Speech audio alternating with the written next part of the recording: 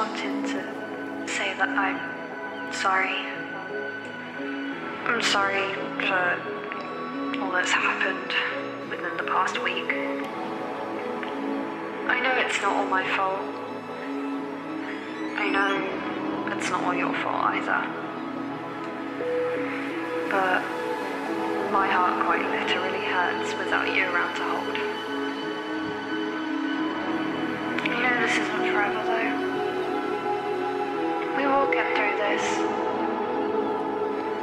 Every single thing that's ever thrown our way, we will just throw it right back. But being with you feels like home because you are my home.